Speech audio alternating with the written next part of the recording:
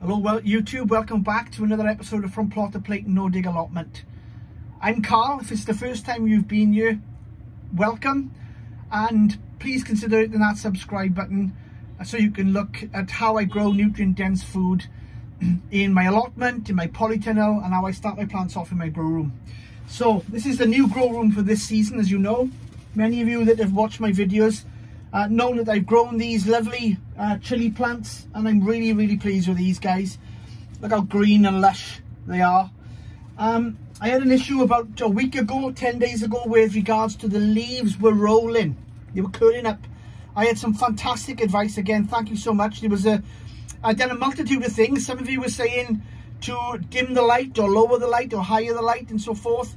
So I've done a lot of things and moved things around and it seems that lifting the light and turning the light down slightly, I can on these Spider Farmer SF1000s, just turn the light down slightly, like so, or turn it up brighter, but it's on like, I think it's on around about five knots at the moment, and I think it's 10 altogether, so about halfway, and that seems to have stopped this unrolling of the of the leaves, you know, so um, I'm really pleased with that, so thank you guys for your help.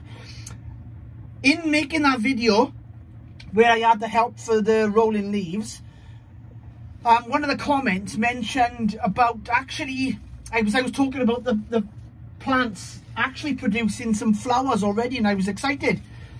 But it's not a good thing apparently to have the flowers this early because they need to set down good roots in their pots first before they can actually produce the flowers because they won't have, the plant won't set the roots down it'll it'll focus its energy on producing the flower head which obviously produces the pepper which produces the seed because that's the idea of the plant anyway isn't it really? So I was encouraged to cut the flowers off. Now eh, some of these have got like five or six flowers on. So I'm like what do I do? Because I've never done this before and I'm a bit scared.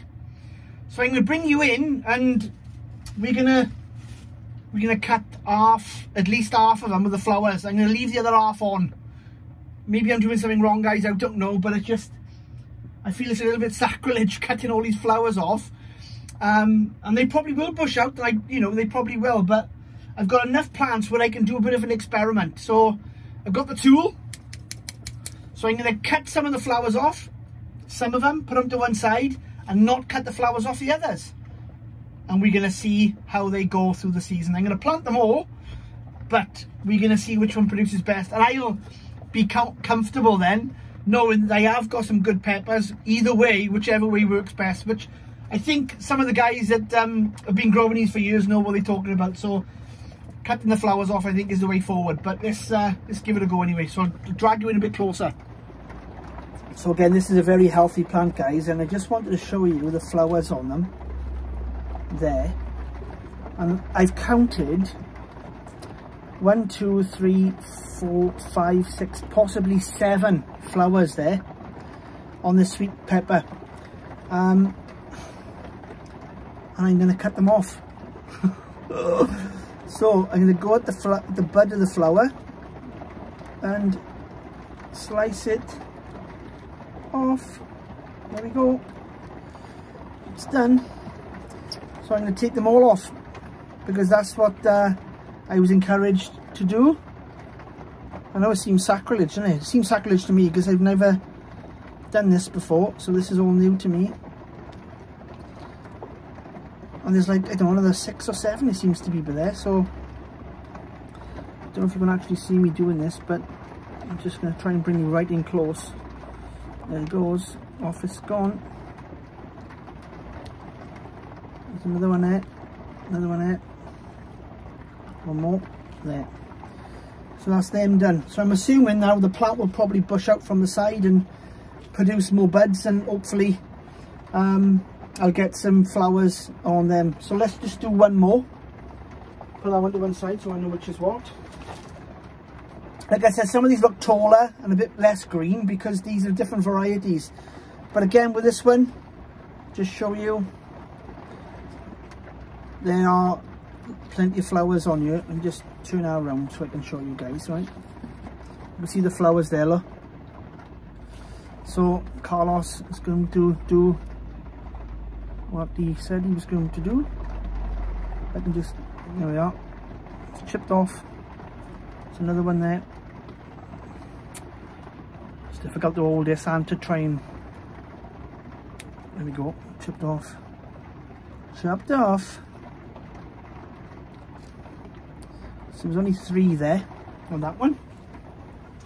So them two, and there was another one that's got a lot of flowers. Where was it by? Where was it by? Oh, this one by you. Most of them have got a couple of flowers on, but some of them have got seven or eight flowers on, you know, so this one's got quite a few. Again, they're all just like tucked underneath these major leaves. You can just see them budding there. So, Carlos is going to go in and cut it out. Here we go. Oops. Like I said, it seems sacrilege. Cut underneath there. Sorry, guys.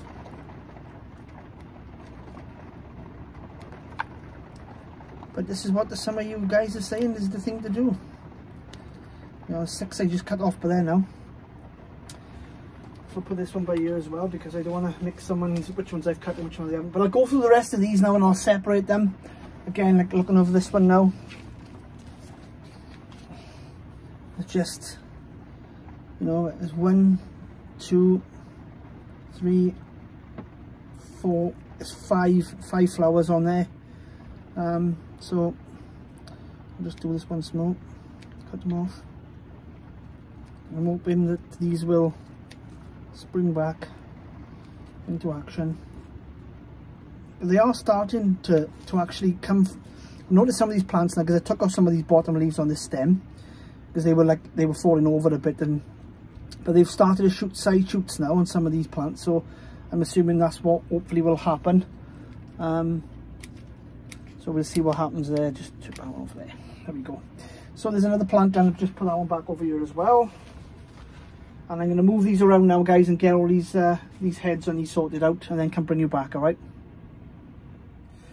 So these half of these now have been done and there's the other half that I'm leaving with the flowers on? I just want to show you that flower there how well developed it is. And there's one large one two three four five six seven eight I can see eight on there. So I'm just going to keep that as it is. You can see it's a bit of a leaf roll on that one. Um, so I'm going to turn the light down slightly on our one side because they're under a different light they are. They're both Spider Farmers, but the one is like an SF600, the other one's SF1000. Um, and I can control the uh, the brightness, really, of the one, and I can't the other, so I'm going to move them around a little bit. But yeah, you can see there, guys. Plenty of uh, good flowers on there, so these are going to stay, like I said, on some of them.